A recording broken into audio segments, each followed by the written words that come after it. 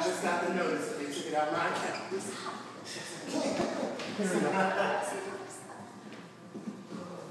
12.05, by the way, so don't be deceived by that clock. Here we go.